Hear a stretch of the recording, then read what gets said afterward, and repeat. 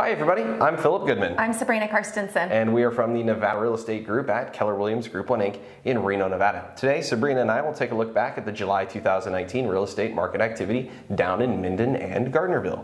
And please remember to hit the like, subscribe, and notification buttons below. All right, Sabrina, let's take a look inside MLS, see what happened in Minden. Let's do it.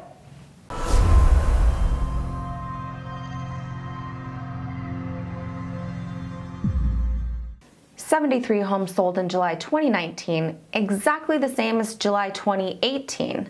However, this is down 15 units from June 2019.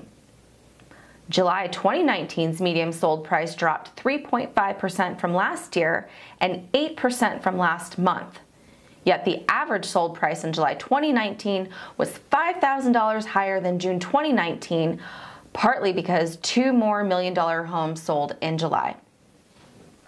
Average days on market also fell to 78 in July, an eight day improvement over last year and seven day improvement over last month.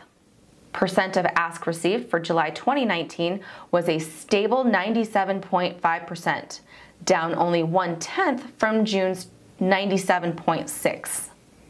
Neither of these are as impressive as last year's 99.8%, especially considering the high medians for this area.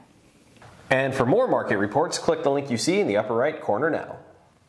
Well, there's your look back at the July 2019 real estate market activity in Minden and Gardnerville. If you found this info helpful, please share this to your social media too. All right, well, if you have any questions about the numbers we've discussed, or if you're ready to go see some properties with Sabrina down in Minden and Gardnerville, you can contact her. Her information is in the YouTube description below. That'll do it for us this month from the Nevada Real Estate Group at Keller Williams Group 1 Inc. in Reno, Nevada. I'm Phillip Goodman. I'm Sabrina Carstensen. We'll see you next time. Bye.